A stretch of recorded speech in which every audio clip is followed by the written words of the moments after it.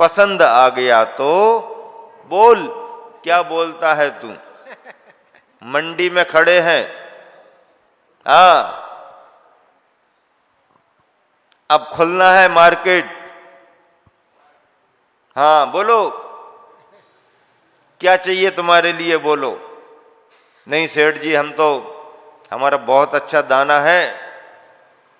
इतने में देंगे। बोल दिया, चल, तीन। खत्म। क्यों? क्योंकि खरीदने वाले ने भी उसको पहचान लिया। जौहरी बाज़ार में कोई कीमत सुनिश्चित नहीं होती। कोई कीमत सुनिश्चित नहीं होती। हीरा रखा है, अब दोनों देखते हैं एक दूसरे को। कौन?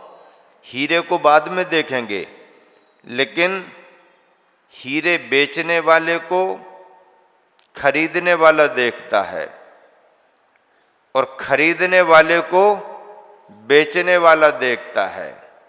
हीरा पर नज़र तो दोनों की है, लेकिन हीरे की नज़र के साथ साथ खरीदने वाला, बेचने वाले जोहरी को परखता है। और बेचने वाला जोहरी खरीदने वाले ग्राहक के लिए परखता है। और दोनों जितना जिसको परख लें हीरे की उतनी कीमत हो जाती है। हाँ हीरे को तो परखना ही है। खरीदने वाला हीरे को परखता है। क्या है? किस एंगल से इसका महत्व है? इसको मार्केट में ले जाएँगे तो क्या करेंगे? कैसा करेंगे? यहाँ का, वहाँ देश का, विदेश में जाएगा तो क्या इससे मिलेगा? खरीदने वाला हीरे को परखता रहता है और बेचने वाला खरीदार को परखता रहता है। हाँ कहाँ तक ये जा सकता है? कहाँ तक ये बढ़ सकता है? और दोनों के परखने में जिसने जिसको जितना परख लिया, हीरे की उतनी कीमत हो गई। ऐसा भी कभी कभी तुमने देखा होगा कहीं कहीं पर। और आदमी बीमार विकलांग आ गया है, परेशान आ गया है, देने की बात तो बहुत दूर, उसके हाथ इसलिए जुड़ रहे कि हमारे को कुछ यहाँ से मिल जाए। कहीं कोई कृपा हो जाए ताकि हमारी कोई व्यवस्था बन जाए। देना तो बहुत दूर की बात, लेने के भाव से भी यदि कोई आ गया और हो सकता, उस बीमार विकलांग को देख करके जो हाथ फैलाए कि कुछ कृपा हो जाए, उसको देख करके चेहरे पर प्रसन्नता आ जाए। चलो परेशान है तो है, लेकिन सच्ची और अच्छी जगह पर आ तो गया है। अब इसका भला ही होगा। अब इसे छोड़ना नहीं है, क्योंकि इसका भाग्य यहाँ तक लेकर के आ गया है। कुछ दिया नहीं और मुस्कान आ गई। क्यों? क्योंकि जितनी श्रद्धा से एक गृहस्थ श्रावक अपनी भावनाओं से गुरु को परखता है। गुरु भी अपनी निश्चल नज़र में, एक ही नज़र में गृहस्थ को भी परख लेते हैं कि इसका समर्पण और इसके अंदर का भाव कितना किस रूप में है। कहने की ज़रूरत नहीं है। व्याख्या की ज़रूरत नहीं है। इसी भरोसे से तो ये मोक्ष मार्ग चला आ रहा है। किस भरोसे से? इसी भरोसे से। तुमने दिगंबर मुद्रा देखी? भले अब उनके नियम कानून कायदे पता नहीं है, पर आपके मन में समर्पण का भाव आ गया। यही सच्चा श्रावक गृहस्थ है।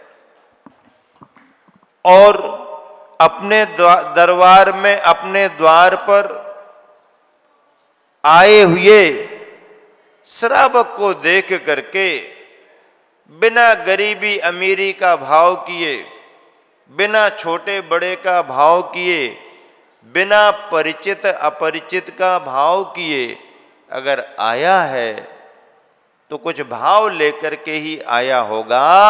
सो से समानता से समता की नज़र से आशीर्वाद दे दिया।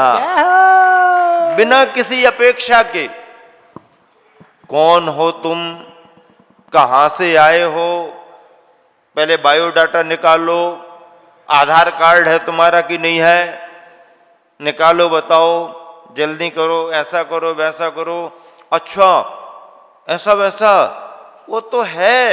ठीक है, उसका भी फ़र्क पड़ता है।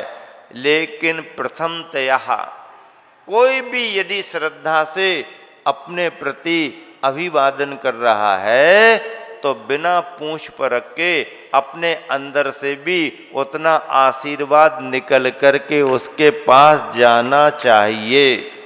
जाना चाहिए, उसका अधिकार बनता है, क्योंकि उसने जिन मुद्रा को नमन किया है, मुनि मुद्रा पर भरोसा किया है, ऐसा भरोसा सम्यक दर्शन के परिणामों से होता है।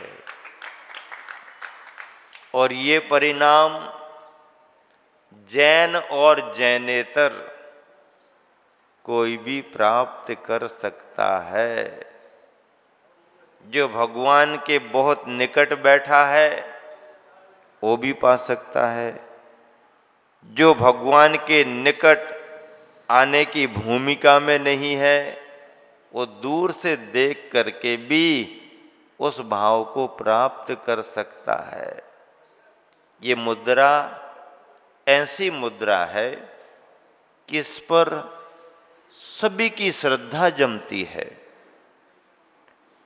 और सभी श्रद्धालुओं को आशीर्वाद पाने का अधिकार बनता है। एक भील जंगल में क्या कर रहा? क्या कर रहा? रोज का काम कर रहा। दोनों जन हैं। मेहनत करने दोनों को जाना पड़ेगा। कोई जानवर दिख गया तो अकेला एक कैसे पकड़ पाएगा उसको? एक रोकेगा, दूसरा उसको मारेगा। तब तो काम बनेगा ना। आजीविका तो कुछ है नहीं। परेशान बहुत रहते हैं। जंगल में कुछ मिलता नहीं है। बस उठाओ तीर कमान चलो जंगल। जब जो मिल गया, लेकर के घर पर आएँगे। ऐसा वो भील। न वो धर्म जानता है, न वो मुनि महाराज जानता है, न सम्यक दर्शन जानता है, न ज्ञान चारित्र जानता है, न तत्व को जानता है, न अभिषेक पूजा पाठ शांति धारा को जानता है, न तुम्हारे विधान जानता है, न इंद्रानी बनना क्या होता है, ये जानता है। बड़े समोसरण में बैठना, कि छोटे समोसरण में बैठना, कि गंध कुटी में बैठना इंद्रानी बनना कैसे बनना जानता है क्या? उदक चंदन तंदुल आता है क्या उसको? कुछ नहीं आता। जंगल में भटकता रहता। और प्रतिदिन की तरह जंगल में आज फिर है। भील भी है भीलनी भी है। हाँ कुछ लेकर के जाना जंगल में से। मेहनत करेंगे, कोई ना कोई जानवर तो मिलेगा। और झुरमुट में से स्पष्ट स्पष्ट नहीं है। डालियों में, पत्तों में कुछ दिख नहीं रहा, लेकिन कुछ हलचल सी दिख रही है। कुछ यहाँ, वहाँ कुछ लग रहा है। तो बहुत दूर भील ने एकाग्र होकर के देखा। घने झाड़ियों में से कुछ आ रहा है और अब अपन को आज का इंतज़ाम तो हो जाएगा। आज का इंतज़ाम तो अभी तक तो दिखाई नहीं कोई। अब जो झाड़ियों में पत्ते हिल रहे ना, कुछ ना कुछ यहाँ पर आ रहा है, मिलेगा। भेलनी को कह दिया, सतर्क रहो, सावधान, यहाँ वहाँ ना निकल पाए। देखना, जरा हाँ और आने दो, और आने दो। अभी स्पष्ट नहीं दिख रहा क्या है? आने दो आने दो आने दो, और जैसे जैसे स्पष्ट सा कुछ हुआ और भील ने निशाना साधा। जैसे ही उसने कमान पर तीर चढ़ाया और और मुद्रा स्पष्ट हुई तो भीलनी को लगा, अरे, हम जो ये समझ रहे हैं कि जंगली जानवर कोई होगा कहीं ऐसा ना हो धोखा हो जाए, क्योंकि जानवर जैसी मुद्रा नहीं दिख रही। हाँ आदमी जैसा कोई दिख नहीं रहा, ये तो ठीक है, लेकिन एकदम रोका, जल्दबाजी मत करो, धोखा ना हो जाए। और और झाड़ियों में से जैसे निकल के आए तो दोनों देखने लगे, हम तो ये सोच रहे तो कोई जंगल में ही, जानवर इधर उधर ये तो कुछ मनुष्य जैसा दिख रहा। लेकिन शरीर पर तो कुछ नहीं है। कौन होंगे ये? और आगे आए आगे आए आगे आए। अरे, ये तो सहज है।